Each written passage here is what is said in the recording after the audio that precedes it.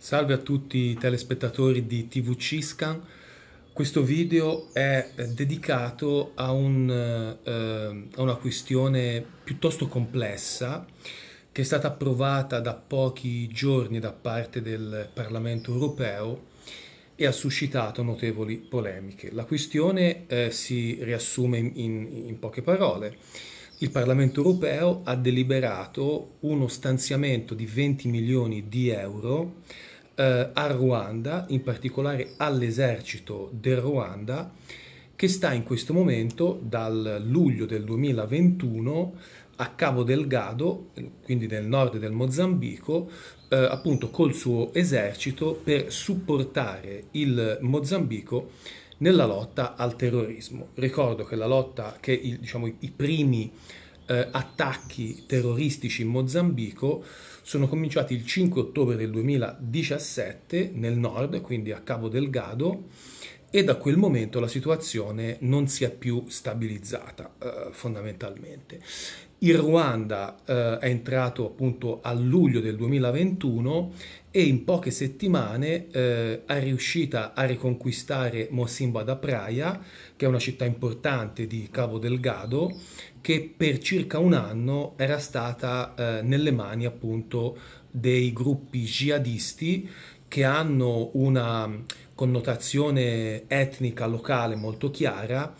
e che eh, col tempo sono stati poi eh, sostenuti anche da ISIS eh, Mozambico.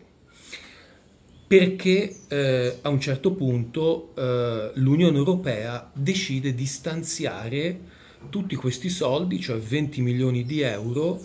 eh, e darli direttamente all'esercito del Ruanda e non all'esercito del Mozambico o anche all'esercito della eh, SADEC. La SADEC è la Southern Africa Development Community che eh, anch'essa ha inviato subito dopo eh, l'arrivo delle truppe del Ruanda eh, un, un, esercito raccolto eh, da vari paesi di questa organizzazione, di cui il Mozambico è uno degli stati fondatori. La risposta è abbastanza complessa, è abbastanza complessa perché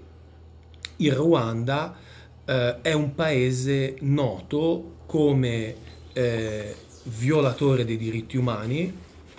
Eh, la democrazia in Ruanda è, una, è un'ipotesi, diciamo, più che una realtà. Tenete presente che nel 2017 Paul Kagame, che è l'uomo forte appunto del regime di Kigali,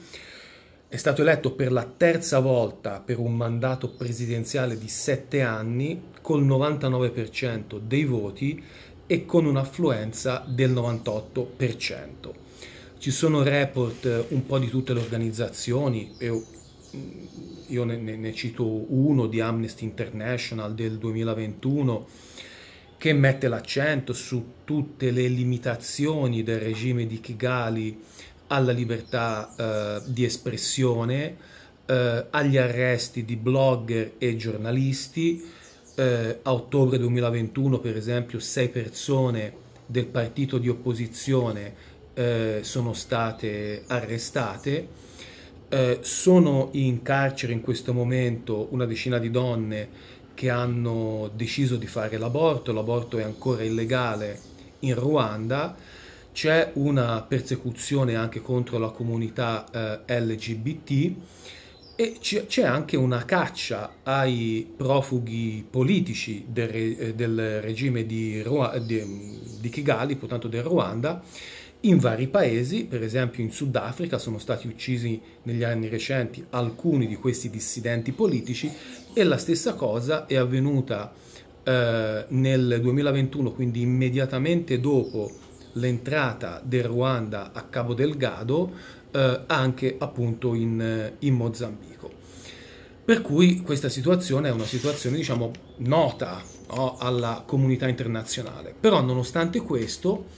l'Unione Europea appunto ha deciso di eh, concedere questi 20 milioni di euro direttamente all'esercito del Ruanda.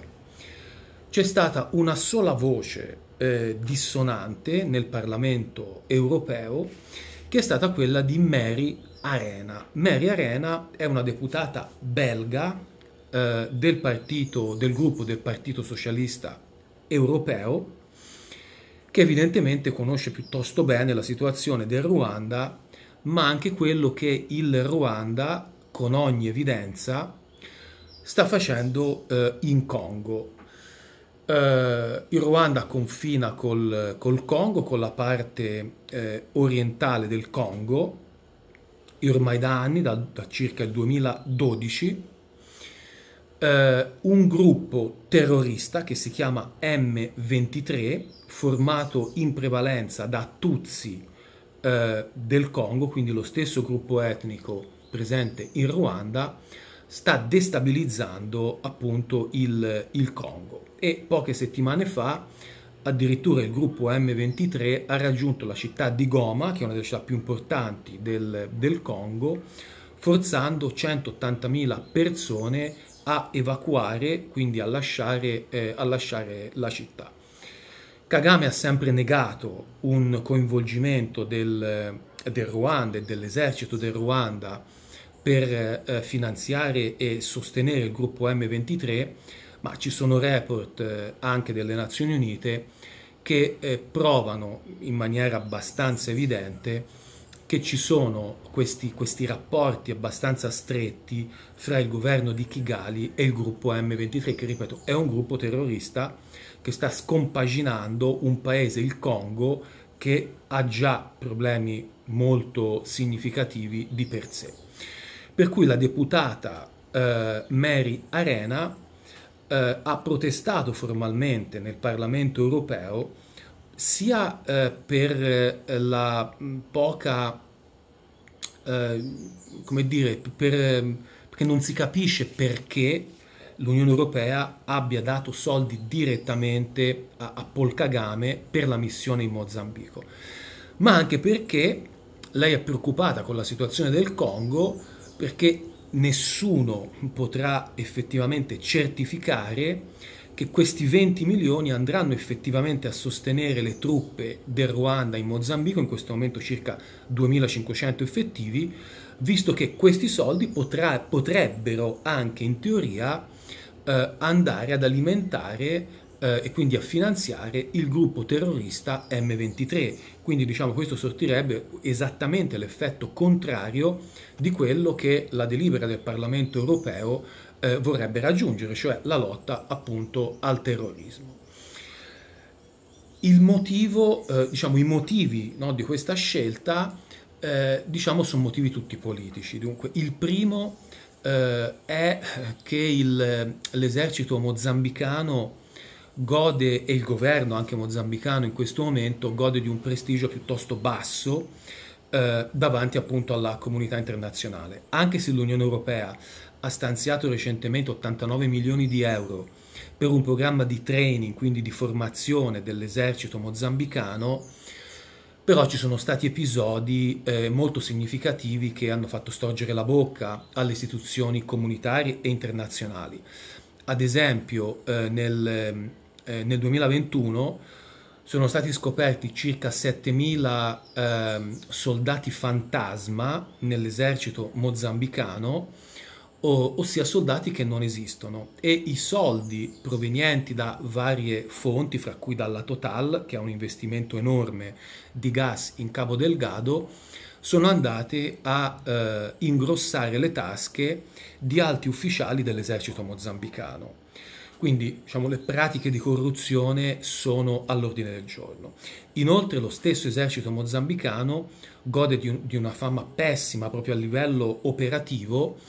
eh, perché sono ormai note le, le, le sconfitte epocali anche di questo esercito di fronte appunto agli attacchi jihadisti. Ho ricordato prima appunto che la città di Mosimba da Praia, che è molto vicina all'investimento della Total, che ha sospeso l'investimento nel gas eh, a Cabo Delgado a causa appunto degli attacchi terroristici, beh, questo esercito ha perso eh, la, la, città di Mosimba da Praia che, ripeto, per un anno è stata nelle mani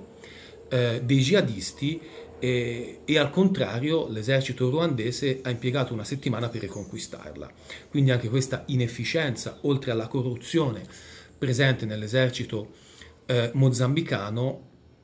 certamente hanno eh, deposto a sfavore appunto di un finanziamento diretto eh, al, all'esercito mozambicano. Uno si potrebbe chiedere anche perché non dare questi soldi alla SADC, quindi alla Southern African Development Community, che è presente con un contingente eh, in, a Cabo Delgado in aree diverse rispetto a quelle del, dell'esercito ruandese. Beh, qui la questione è tutta politica. La SADC è un'istituzione sovranazionale abbastanza fragile, attraversata da contrasti all'interno dei singoli stati piuttosto significativi, soprattutto fra Mozambico, Africa del Sud e Tanzania, per tutta questa partita, partita di lotta al terrorismo, ci sono, stra- ci sono stati del, dei contrasti diplomatici molto importanti. E, e quindi probabilmente quest, diciamo, la, la, decisione del, del, Parlamento europeo di non eh, dare questi soldi direttamente alla, alla SADEC eh, può essere spiegata anche in questo senso, oltre alla inefficienza sul terreno della missione della SADEC che si chiama SAMIN, che anche questa ha registrato appunto diversi insuccessi rispetto alle imboscate dei guerriglieri eh, jihadisti che, è bene dirlo, sono sostanzialmente usciti dalla zona di controllo dell'esercito ruandese, quindi nei tre distretti Macomia, Palma e Mosimbo ad Praia, che sono i distretti più vicini ad Afungi, dove c'è il campus della Total, quindi interessi francesi.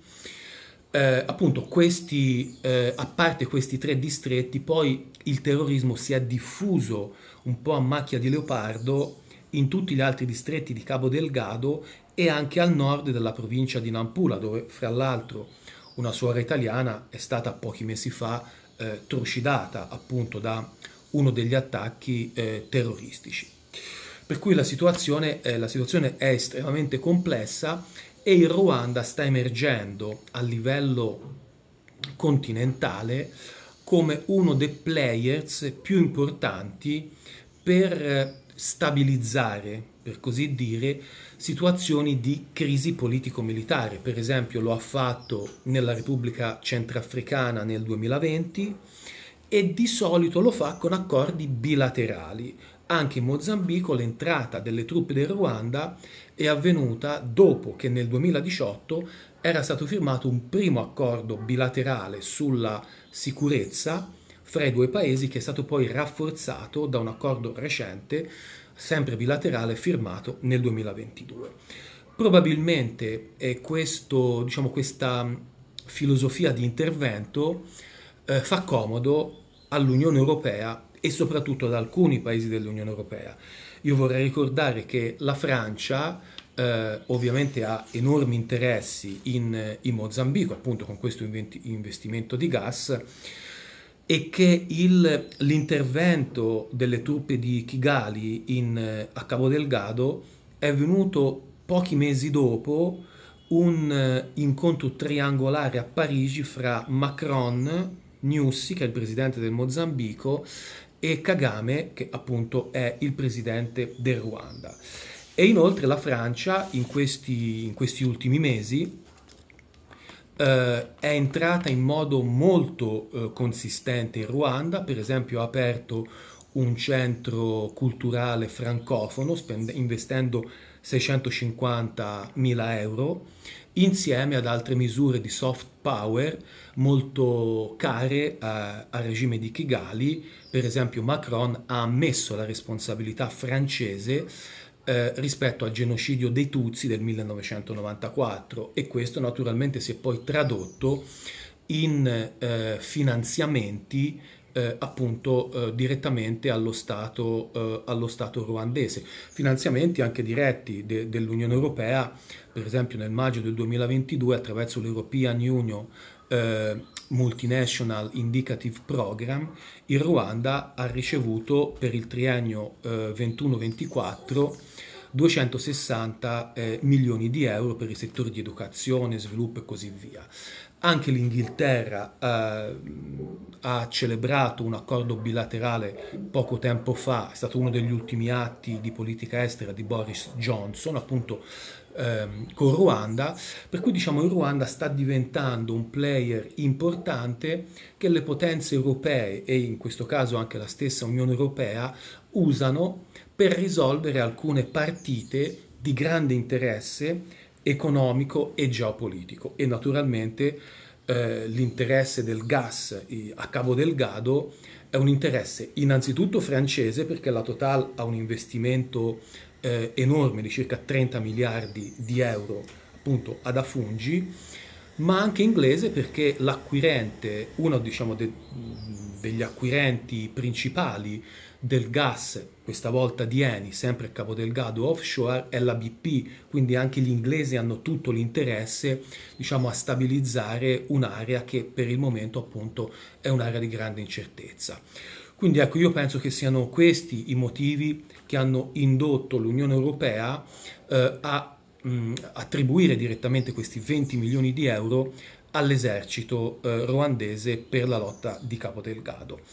Naturalmente lascio a voi eh, le, le, considerazioni, le riserve e le critiche rispetto a questa, a questa misura, a questa decisione che, ripeto, ha avuto poco, poco eco nella stampa italiana, eh, ne ha avuta un po' di più in quella belga e, e in parte in quella francese, ma io penso appunto che decisioni di questo tipo, cioè eleggere uno Stato come il Ruanda, come appunto uno dei riferimenti centrali della politica africana dell'Unione Europea e soprattutto de- della Francia, beh, questo rappresenta un elemento, certamente una scelta politica che dovrebbe essere eh, molto ben eh, ponderata e a mio avviso anche criticata, perché ripeto, il Ruanda non è un paese, è un paese molto efficiente, ha un ottimo esercito, ma certamente non è un modello di eh, democrazia e di libertà di espressione dei diritti umani che la stessa Unione Europea vorrebbe promuovere o vorrebbe credere di promuovere. Grazie a tutti, eh, un like se vi è piaciuto il video e naturalmente resto in attesa dei vostri commenti.